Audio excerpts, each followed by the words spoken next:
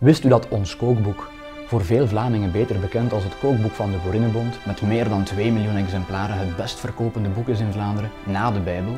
Het volledige verhaal leest u in 100 keer Vlaanderen. Een boek dat ik schreef met Thomas Rogeman en Karim van Overmeijden.